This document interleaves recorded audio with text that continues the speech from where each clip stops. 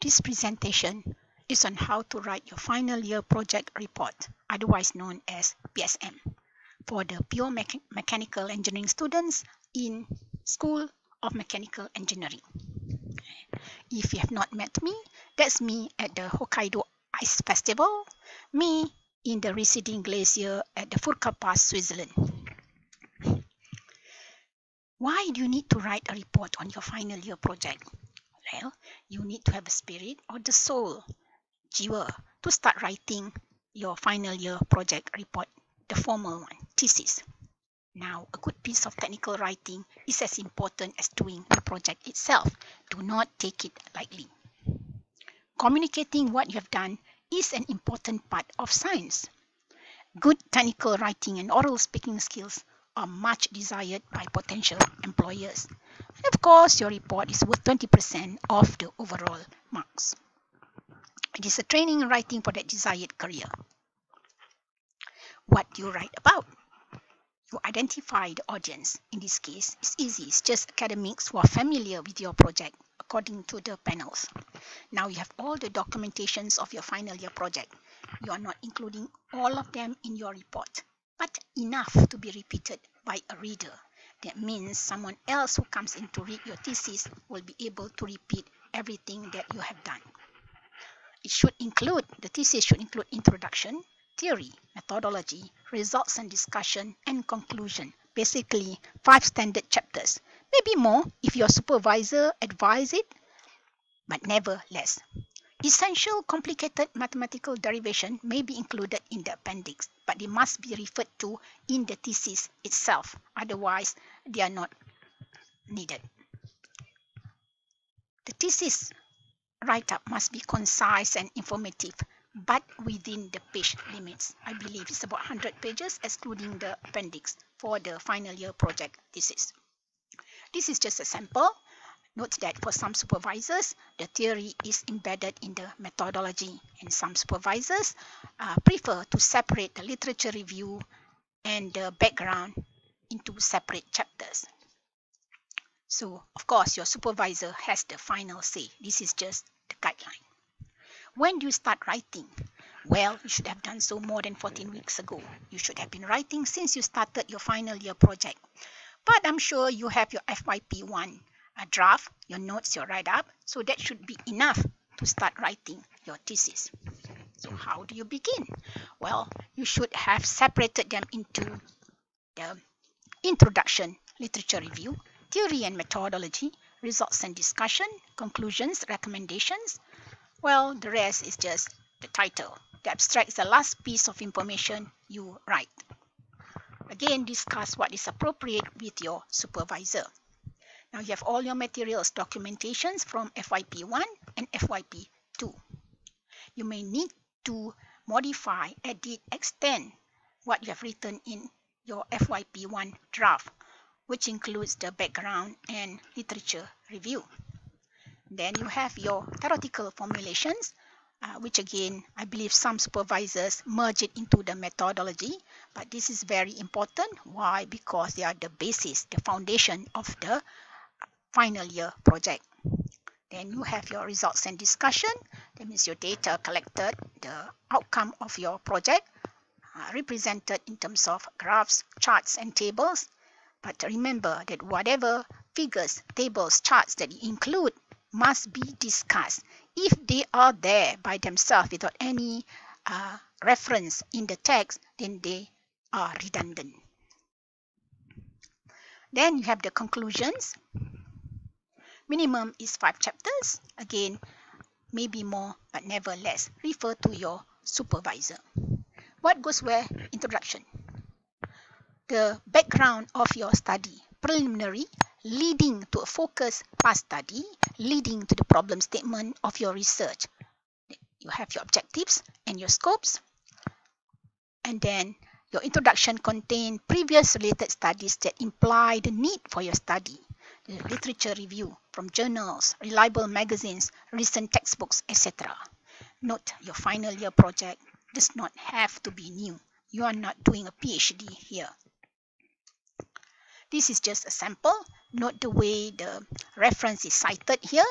Okay, we have the author year and if the author is mentioned, it's just the year in bracket. Again, here it's a sample. What goes where? The theory. So you have to describe the physical system of your study if it is a physical system, a real system. Is it the whole system or just a process or a component? A schematic of your analysis of your study must be described, defining your boundaries, basic concepts and theory related to your study described, assumptions and justifications needed to solve your final year project, and the governing equations needed conservative equations, laws, etc. needed to achieve your objectives. So sample again, if you are doing simulation, note here the schematic of the computational domain that the, a student has done. So here there is no physical boundary, but an imaginary boundary that contain the computational domain. What goes where? The methodology. In the methodology, you must describe the procedure. A flowchart may be included to support your descriptions of the work, but it cannot stand on its own. You still have to describe to a certain extent the flowchart. Well, but the flowchart may save you pages and pages of description. If a computer code is used, list the algebraic equations. Some of them may be included in the appendices. Now, if a particular method model is used, you must justify it. Yeah? Explain the standards follow, whether it's American Society of Mechanical Engineers, ASME or ASHRAE, etc. It's important to have reliability of your method and state the accuracy of your measuring devices. Your temperature measuring devices, your pressure measuring devices, etc. For the, those doing the experimental final year project, Include a table of operating parameters that you have utilized and the cases that you have completed your study. Results and discussions. Select the important relevant data to be presented. Decide in what form your data could be best presented. Explore. So the graph may be not as good as a chart sometimes.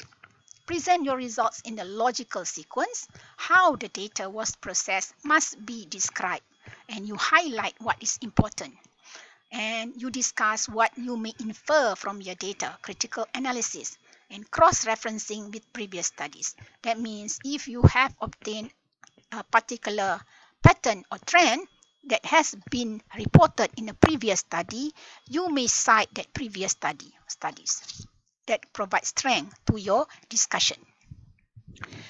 Well, results and discussions is the core of your project, what you had set out to obtain. So evaluate your results. Is it as expected? Unexpected? If unexpected, why? Illustrated. Has it been proven? Explored. Limitations. Your results may be just a repeat of past studies. Again, you're not doing PhD here. But could have been presented differently. Use your own words to describe your results. Captions for results must be appropriate, short and concise. Conclusion. You sum up the outcomes of your FYP.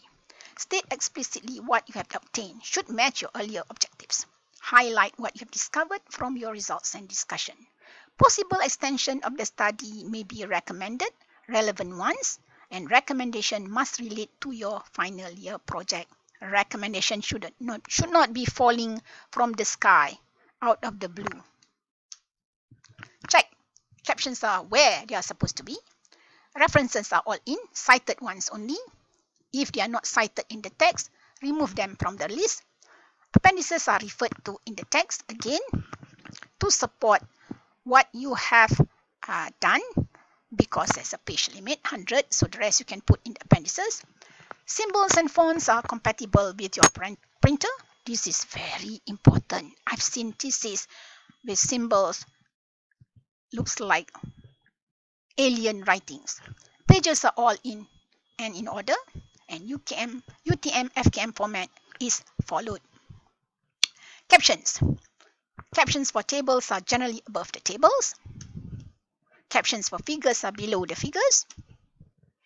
Table figure labels follow the chapter where the table figure appear, e.g. if your figure appears in chapter 2, then the first figure should be labeled figure 2.1, the next one 2.2, etc. References include evidence of statements, equations, system that you have used yeah, from textbooks, journal, papers, magazines, etc. Yeah. Be consistent in your format and citing a website requires an access date. So what's in the appendix? Details of derivations, experimental procedure, sample calculations that couldn't be included in your 100-page thesis. Lengthy tables, data. Yeah. Your report should be able to stand on its own without the appendix, actually. Yes. What have I missed? The abstract, probably. So how do you write your abstract? Your abstract in one page should contain the problem, your solution to that problem, the methodology, the results and conclusion, and all that in one page.